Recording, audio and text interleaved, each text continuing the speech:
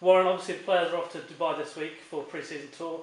From a player's perspective, how important is it for players to go and get match practice under their belts? That's really important, James. I think uh, I think from a player's point of view, you've had from November inside, in the nets, doing your fitness, doing your basic skills, and, and getting ready for this period of, of the pre-season, of actually getting out there, getting in the fresh air, getting back on turf, and, and, and playing cricket again in a, a competitive environment which is which is all the players want to do at this stage of the year.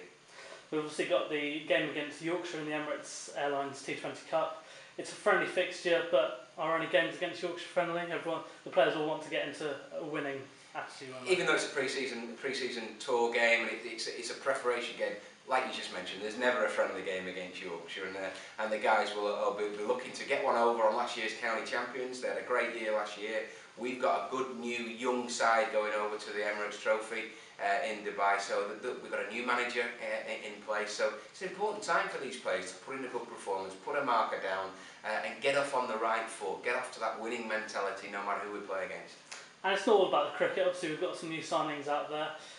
team bonding, you know, it's important for the squad to gel as well, isn't it? Of course it is, yeah. That, that time you spend with, with your fellow teammate, your fellow colleague, your fellow player sets you in good stead for the, for the season to come. And, uh, and like you said, you mentioned bonding and, you know, you find a lot about people when, when you go on, on tour and helping people through through lean patches and, and you know, patting people on the back and, and congratulating them on good performances. So, you know, I, I, I've always been a, a big fan of, uh, of uh, to in, enjoy your teammates' success as well as your own. And, and a pre-season tour certainly goes that way to, uh, to doing that.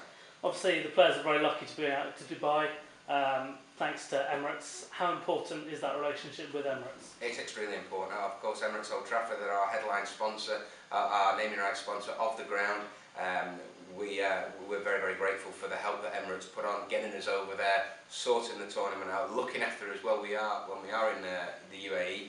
It's, uh, it's great to have a partner that, uh, that look, looks after us so well and, uh, and gets involved with a really, really important stage of our season. Great, thanks Warren.